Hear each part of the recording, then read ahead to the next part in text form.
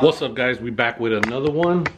We got another one in Espanola, New Mexico crew cab. We're gonna be doing double sunroofs, Weldon, black suede.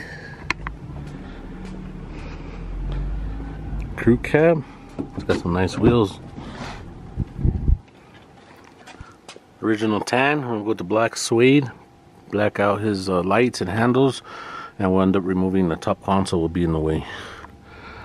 All right, another one. Let's get it. All right, guys, we got the first one installed. Check it out. First one is in, tack welded. All the way around. We are prepping the back so we can do our double. Get that in, get the bracket installed, welded, tack it in, and then we'll go ahead and install the other roof and then uh, start our drains. Total of eight drains we're gonna have to run. All right guys, we got both brackets in, tacked weld. Check it out.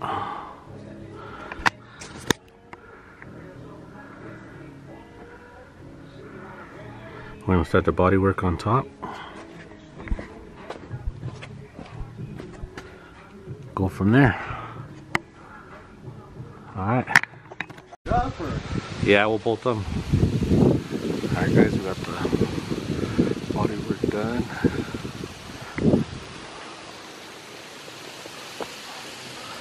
Check it out. I'm going to go ahead and install the sunroofs now, power them up, and then we'll start the headliner.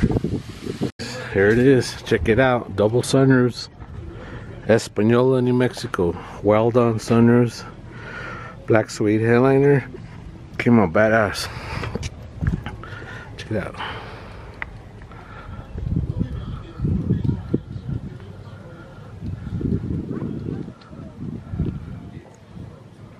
Sweet. Check out the inside. All black suede. Wrapped. Customer did bring his own sunroofs.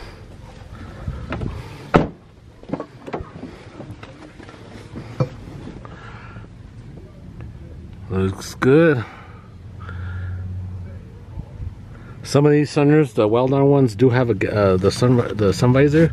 This one does have it, so I left it for the customer. Um, like I said, he brought his own sunroofs. This one does not interfere with the opening of this one, so it's, it's good.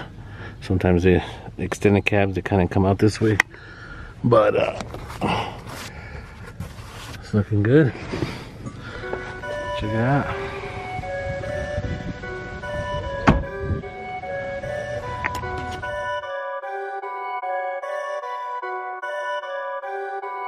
Perfect.